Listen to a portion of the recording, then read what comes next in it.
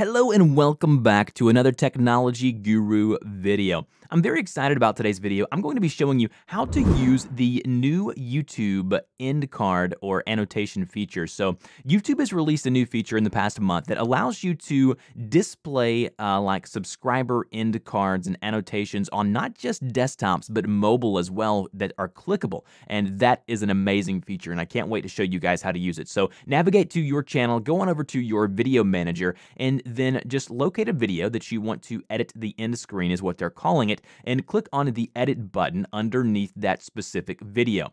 And then once you're here, you're going to see a new tab at the top right in between audio and cards that says end screen and annotations. Click on that. It's not going to be the normal annotation and end card screen that you're used to you're going to see that it takes you to the last 20 seconds of your video. Now, you have to note that in order to use this feature, you can only place the elements that you can use on your end screen on the last 20 seconds. Now, if you go over to annotations, you can put annotations anywhere. But I highly recommend using the end screen, the new features, because uh, the best thing about it is you're going to be able to capture those clicks or taps from mobile devices like Android and iOS devices.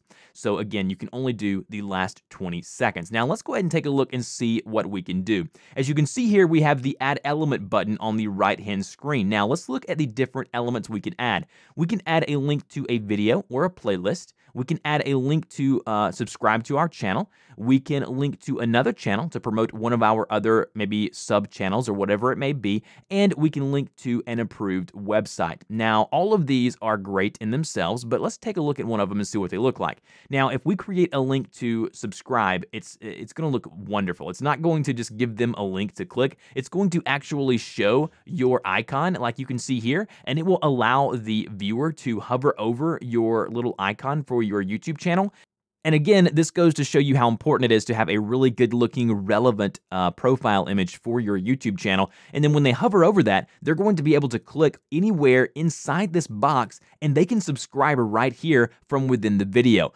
And from what I've been seeing from my videos, as well as other people telling me when they're tracking this, it's bringing in even more subscribers than before because it's one or two less clicks than having to go back to your actual channel page. So not only can you add a subscribe link, but uh, obviously, once you're done, get out of preview mode. You can preview what it's going to look like by clicking this little checkbox right here, and it will actually begin playing the video as well. So, so if you want to preview it, click the preview, and then unclick the preview and it'll take you back to the editing mode. Now you can leave these elements to play out for the whole 20 seconds uh, at the end of your video or like regular annotations and cards, you can click and drag the gray bar at the left and right hand side of these elements and then you can actually adjust the time length that they're going to show up on your video. So if you only want them to show up for 10 seconds, then just drag that to wherever 10 seconds is and then that's how long it's going to be, you know, shown for for your viewer. But but I recommend honestly to let them play out for the full 20 seconds. That really isn't that long of a,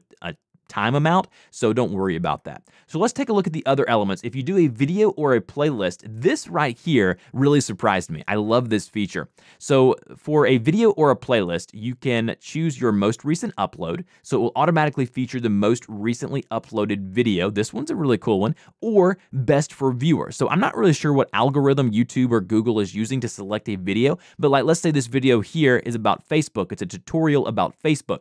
Whenever I selected this option here, and tested it out, it did link and show another video that was a tutorial about Facebook. So somehow or another, it's using keywords, title, description, whatever, and it's pulling from your pull of videos that you have uh, uploaded to your YouTube channel. And then obviously you can choose a video or a playlist yourself by going through here, selecting a recent video, or, you know, typing in the direct URL for that specific video. And then whenever you do that, uh, let's say we choose this video here, create an element.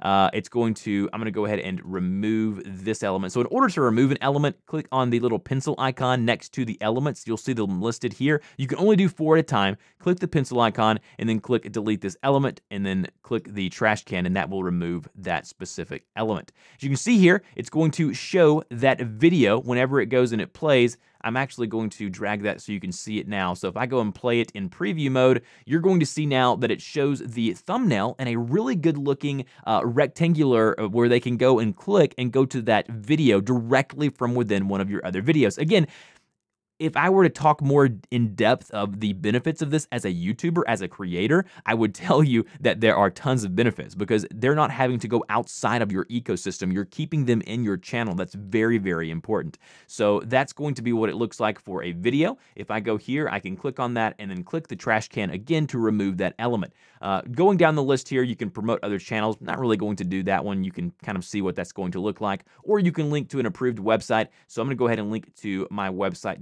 youtubecreatorshub.com. So create an element, and now as you can see, when we go and preview this, it's going to actually look very nice and allows people to go and click on the little thumbnail to go directly to your website. Again, very beneficial as a YouTuber. The last thing that I want to show you guys is probably my favorite feature of this whole deal, and that's going to be the template feature. So if we go to use template right here above the video, you're going to see a whole bunch of templates that YouTube has provided to you guys to use for your end screens. Now, I like a lot of them, uh, but probably one of my favorites is going to be this guy here. One video, one subscribe, one link. So if I go here, I select this template, I click the select button, you'll have to go in and actually add a video, add a subscribe link, whatever it may be. So if the, right here under the elements, click on the specific element, uh, and then once you're there, you'll want to edit that element, choose a video, and click save. That's going to add that. Go ahead and choose that there, click edit element, and then go for best for viewer and click save. Now, once we're ready, as you can see, if I preview this, it's going to give them a nice little link here to subscribe. It's going to give them a video to look at. So there's a ton of different things they can do to stay in my ecosystem as a YouTuber. So if you want to, you can utilize one of the many. I am surprised at how many they provide you with, but the many templates that YouTube provides you with. So there's one here with four videos, two videos. It's just really cool. Um, so I would highly recommend you guys go and check that out. I'm not sure about the bulk features yet. I use TubeBuddy to do a lot of bulk editing, uh, a lot of bulk features for my YouTube channel, and I'm sure TubeBuddy will be uh, updating with some features for this as well. So if you have any questions on how to use this new feature, put those in the comment section below. I have a ton of YouTube content. If you want to know more about my YouTube podcast, it's called YouTube Creators Hub. The links will be in the description as well. Guys, as always, thank you so much for watching my videos, and I will see you guys in the next one.